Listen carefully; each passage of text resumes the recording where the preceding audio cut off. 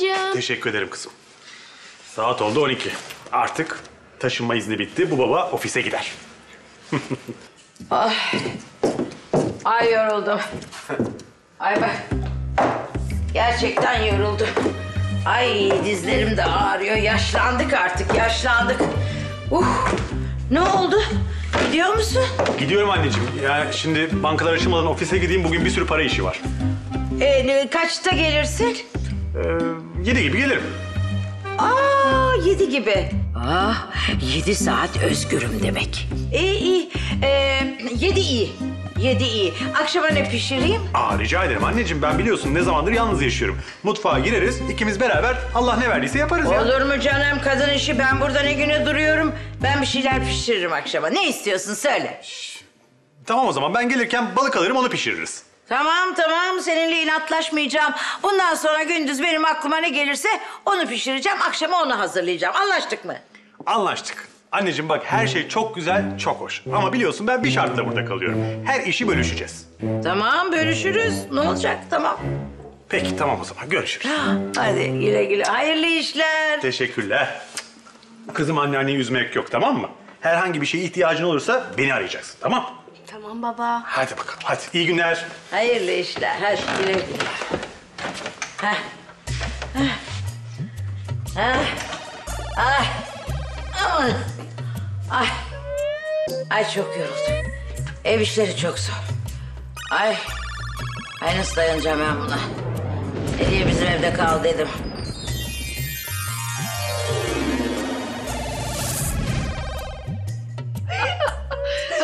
Vereceğim. Dudu'nun bir de ay mutfaktaki halini görmek isterdim. Oradan oraya çay götürüyor, oradan çay.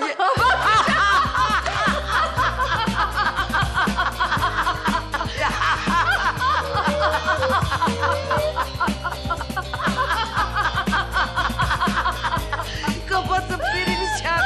Gülmekten, gülmekten midem ağrıyor.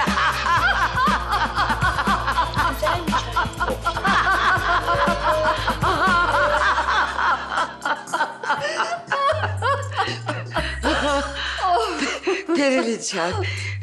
Bir yıl düşünsem Dudu'yu bu halde göreceğim aklıma gelmezdi. Onun işi çok zor. Damadını da torununu da o kadar çok seviyor ki onlara gidin diyemez. Durum böyle devam ederse Dudu'nun işi çok zor. Periliçem siz hiç merak etmeyin. Dudu tatlılıkla ya da hani sihirle falan mutlaka onları başka bir yere uzaklaştıracaktır. Korkarım ki öyle. Ha, bu arada Zelal'i ziyarete gittin mi? Gittim Periliçem. Korkarım ki bir faninin bedeninde yaşamakta zorlanıyor. Faruk Bey Zelal'in sürekli peşindeymiş. Aa, Periliçem bu arada Avni Bey'in evliliği de hiç iyi gitmiyor. Ayrılacaklar sanırım yakında. Bu arada Zelal Efecan'ın halası olma rolünü artık çok uzaklardan sürdürecek. Değil mi?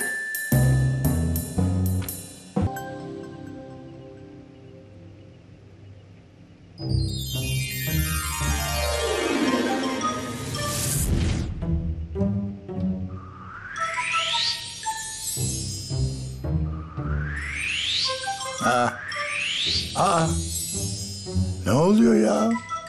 Tek tek gidiyor bunlar. Bak bir tane daha gitti. Ha bu da gitti. Bu da gidecek. Gitti. Görüyor musun? Gidiyorlar tek tek. Bir iş var bu işin içinde ama hangi iş acaba? Çamaşırlar gitti.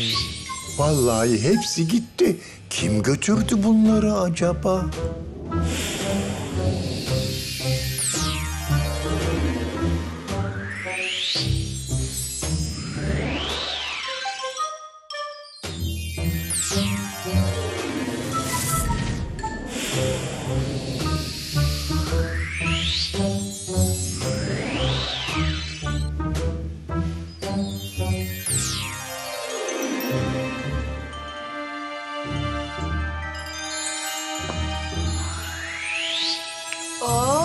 Anneanne.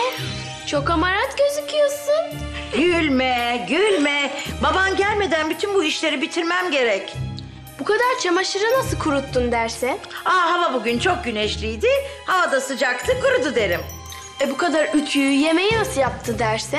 E, ben çok hamaratım. Harika bir ev kadınıyım. O yüzden de gül, gülme, gülme. Ama çok komik gözüküyorsun. Niye komik olsun canım? Ay öldüm bittim ömrü hayatımda ilk defa bu kadar çok çamaşır astım ben. Aa gelemem. Aa Taci, Taci. En ufak bir yorumda bulunursan seni derhal terasa yollarım. Tamam tamam merak etme hiçbir yorumda bulunmayacağım da ne yapacağım? Uyu, oku, gazete oku, yemek ye. Ne yaparsan yap bana bulaşma. Ay öfkesi burnunda. Bugün bana kimse bulaşmasın. Ay yoruldum canım. Aa. Toprak ben çıkıyorum sen de istersen yukarı gel. Tamam dede. Ay ne zormuş ev kadınlığı. Sihirle bile olsa insan elini kolunu kaldırıyor, yapıyor, yoruluyor. Yapıyor, yoruluyor. Ay bitti.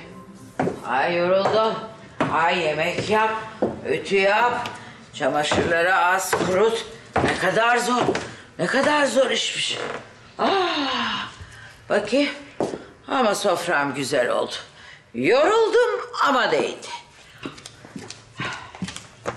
Bakayım. Ah, araba geldi.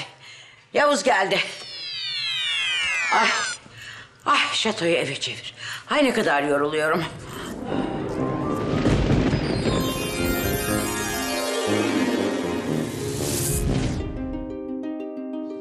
Toprak neredesiniz? Buradayız. Aa, ne yapıyorsunuz orada? Yukarıda kitap okuyorduk. Babam mı geliyor? E, belli değil mi? Bak şato ev oldu anında. Bence sen bizimle uzun zaman yaşayamayacaksın. Ha, niye öyle söylüyorsun? Ben her şeye alışırım. Yakında bir faniyle şatomda yaşamaya da alışacağım canım. Hiç merak etme sen. Başlıyor. Hoş geldin oğlum. Hoş bulduk anneciğim. Merhabalar. Güzel kızım. Oh, işte balıklar. Oo, bu ne kadar güzel bir sofra olmuş anneciğim. Ön hazırlık yaptım. Az bir şey şöyle. Önden yemek için zeytinyağlar, soğuklar falan. Ellerinize sağlık, harika. Ama balıklar senden. Tamam. Bahçede ateş hazır. Sen pişireceksin. Tamam anneciğim, üstümü değiştiriyorum. Hemen mangalın başındayım. Al bakalım balıkları. Anneannesi temiz ve ayıklanmıştır balıklar. Tamam, hemen iniyorum. Ay pişirme işini ona kakaladım. Ver bakayım balıkları. Ha iyi iyi cimrilik etmemiş. Bakayım. Güzel levrek almış hem de. Çok güzel. Ya tavada pişecek balık getirseydi istavrit barbun gibi o zaman ne yapacaktın? Ee, senin karın çok akıllı. Sihirli aynadan kontrol ettim. Ona göre tedbirimi aldım canım. Ve de mangalı hazırladın. Ah Dudu sen yok musun?